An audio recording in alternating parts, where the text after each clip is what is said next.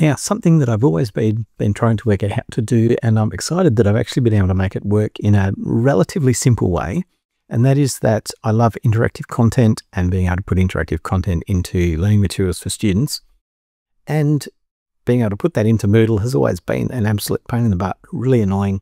So what I've worked out is, and this is using Adobe Animate and being able to put uh, an interactive and as when I say interactive, it has buttons on it that does things and it's animated and all that.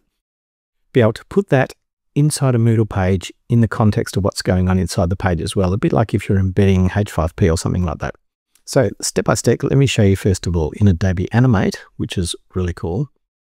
Now, I've got this animation and I'll give you a quick look at it. It's just an engine that spins around. And if I go and give you a demo of the interactive part of that, it's fairly simple and straightforward this is what it looks like inside a web page. And you can start, stop, you can slow it down, you can go normal speed, and you can go fast speed as well. Okay, so that's the animation. But what we can do is we can export that, and I'll go through that, and then we'll load it into Moodle, and it all actually works. And it's really cool. And I did this as a teacher. So something to be aware of when you're in Moodle is that, uh, and I'm in Moodle 4.0 here, is that there may be a case where you don't have access to be able to do this. So you may need to get special permission to do it. But either way, it does work. Let me show you. So we go into Adobe Animate. And from Adobe Animate, I'm just going to go down to Publish Settings. And in the Publish Settings, it's on JavaScript HTML, which is good. Uh, I've got the Four Stroke Engine version 2 here. I've left everything else ticked except for including images because this is completely a vector creation anyway. There's no actual graphics inside it. Uh, we go to HTML and I'll just show you here, I've selected stop including JavaScript in HTML. Um, for some reason, changing that means that it spits out one file with everything inside the one file, which is exactly what I want. So I just go publish and off it goes and creates that. Now, if I jump into that file, which is in a folder. Let me grab that folder. Here we go. Here's the folder. It's the Four-Stroke Engine version 2 HTML. It's one file that it created from that, and that was from Adobe Animate.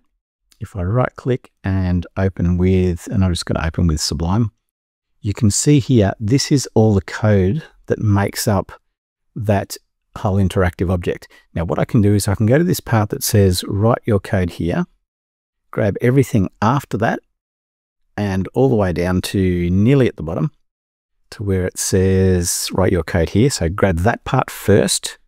Now jump into Moodle. In Moodle, I'm just in a course in a page. It's just a HTML page.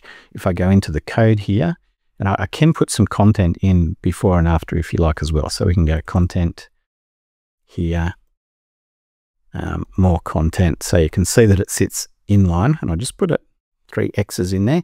Going to the code and where the X's are, I'm just going to replace those with all of that code that I just grabbed. We still need to get more code there, so just jump back. Jump back to where we were, and I need to grab this part here. So this is the uh, onload. I'll just move it up a bit so it's you to see. Uh, this is the div ID down to div. Don't worry about this other little bit here. We're going to fix that up in just a moment. So we grab that bit of code, jump back to Moodle and paste that in a page. Nearly there. One more thing we need, and that is to go and grab the JavaScript onload function, which is just here, which is the window.onload equals function.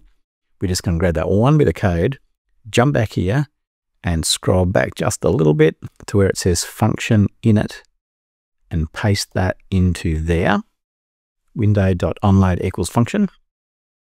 And that's it. Let's go save and display, cross our fingers. Look at that. So we've got content here. We've got more content down the bottom. And then we've got our animation appearing inside the page, which we can stop, start, fast, normal, slow, all of that. Now, if you're interested in uh, one, how I more detail about how I did that, but also in how I created that using Adobe Illustrator and Adobe Animate. Got a whole course on it. Let me know, and I can put a link there for you to show you how to do that. And it also shows you this process of how to embed uh, the interaction or this interactive content in Moodle into a couple other platforms as well. because it's uh, lots of cool stuff in there. But um, that's how you do it. Really clever. Absolutely love it. I'm Chris Richter. I'll talk to you again in the next video.